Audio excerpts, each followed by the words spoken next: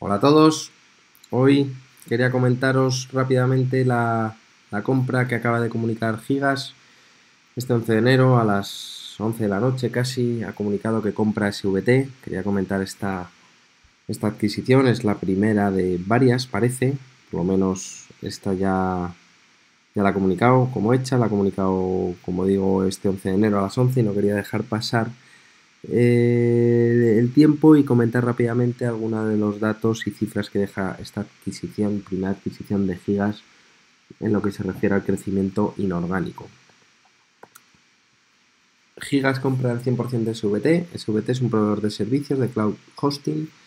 Esta empresa se, fundó en 2007 en Lérida. La facturación de los servicios de cloud hosting en 2016 fue de 772.000 euros a 30 de septiembre del año pasado, de 2017, la facturación de estos servicios estaba en 611.000 euros y la facturación estimada para el año 2017 en estos servicios de cloud hosting es de 830.000 euros.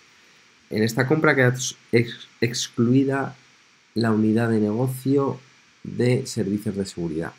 Queda en manos del grupo SEMIC, que hasta, hasta el día de hoy eh, SVT era una filial de este grupo, del grupo SEMIC. Volviendo a las cifras, SVT cuenta con más de 200 clientes empresariales, medianas empresas, la mayoría. Eh, Gigas valora este negocio, mm, el negocio de hosting de SVT en 665.000 euros, sacando un ratio sobre las ventas estimadas para 2017 830.000 euros. Gigas compra SVT a un ratio de 0,8 veces ventas, teniendo en cuenta que estas compañías gigas y comparables están cotizando en el mercado, en los mercados alternativos, mercados de valores, a dos veces ventas o cuatro veces ventas, parece que el precio es bastante atractivo. A simple vista, habrá que analizar más cosas, pero bueno, a simple vista parece que es atractivo. Se asume en 2018 unas ventas iguales eh, a 2017 para la fijación de este precio de adquisición de los 665.000 euros, sin considerar la posición de circulante.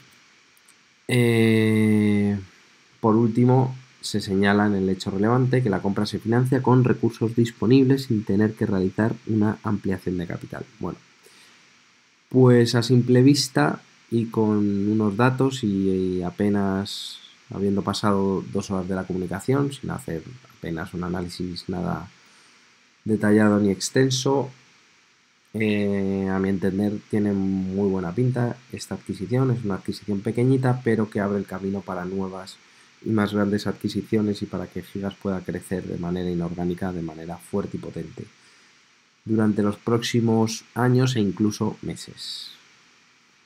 Esto es todo, espero que os haya resultado interesante, os espero en el próximo vídeo. Un saludo.